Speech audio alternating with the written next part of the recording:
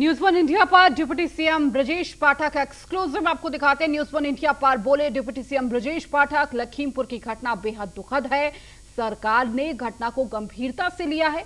तो इसके साथ ही सरकार पीड़ित परिवार के साथ खड़ी है। एडीजी और बाकी अफसर मौके पर मौजूद हैं। मामले को फास्ट ट्रैक कोर्ट में ले जाएँगे। कठोर से कठोर सजा जल्द से जल्द दिलाएँगे। न्याय दिलाने के लिए हम काम कर रहे हैं। तो डिप्टी सीएम ब्रजेश पाठक ने ये बातें कही एक्सक्लूसिव न्यूज़ वन इंडिया से इस पूरी घटना को लेकर।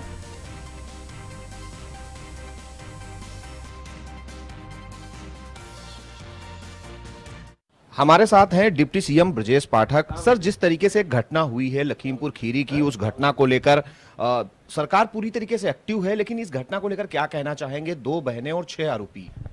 बहुत ही दुखद घटना है सरकार ने गंभीरता के साथ लिया है। अभियुक्तों की गिरफ्तारी हो चुकी है। एक अभियुक्त के मुठभेड़ के दौरान पैर में गोली लगी है। कड़ी से कड़ी सजा मिलेगी। हम पूरे मामले को फास्ट ट्रैक कोर्ट में ले जाएँगे और हर स्थिति में पीड़ित परिवार को न्याय दिलाएँगे। पीड़िता की माँ का एक आरोप है कि जो शिकायत हुई वो करीब चार घंटे पहले की गई थी लेकिन पुलिस ने देरी की। देखिए लापरवाही किस स्तर पर उसकी भी जाँच हो रही है और इसमें भी हम किसी को बख्शेंगे नहीं।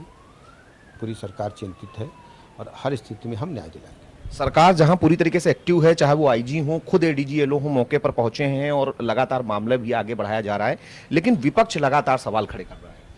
देखिए आप विपक्ष का काम अपना काम है मैं यही कहूँगा विपक्ष के लोगों से कृपया ऐसी दुखद घटनाओं पर राजनीति ना करें। माना जाए कि फास्ट ट्रैक कोर्ट में जल्द से जल्द इस पूरे मामले हम मामले में चार्जशीट शीघ्र लगाएँगे और फास्ट ट्रैक कोर्ट में ले जाएँगे और शीघ्र न्याय दिलाएँगे। बिल्कुल, ये है उत्तर प्रदेश के डिप्टी सीएम ब्रजेश पाठक जो बता रहे हैं, पूरे मामले को फास्ट ट्रैक कोर्ट में लेकर जाएँगे और सरकार पूरी तरीके से गंभीर